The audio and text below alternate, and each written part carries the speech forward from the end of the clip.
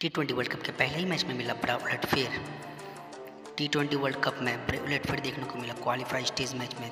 Namibia ने श्रीलंका को 55 run से हरा दिया। हर किसी को हैरान कर दिया। श्रीलंका यहाँ पर एक रन का टारगेट का पीछा में फेल रही। रविवार को 16 अक्टूबर को टी ट्वेंटी वर्ल्ड कप का पहला शुरुआत मैच में श्रीलंका को बड़ी उलटफेर देखने को मिला। नामीबिया ने श्रीलंका को हरा दिया। कुछ वक्त पहले एशिया कप जीतने वाले श्रीलंका सोच भी नहीं, सोचा भी नहीं होगा कि इस तरह का मैच ऐसा होगा। नामीबिया ने पचपन रनों से जीत हासिल की और टी ट्वेंटी वर्ल्ड कप में अपने सफ़र को ऐतिहासिक आगाज़ किया। आपको बता दें कि क्वालिफाई राउंड का पहला मैच था।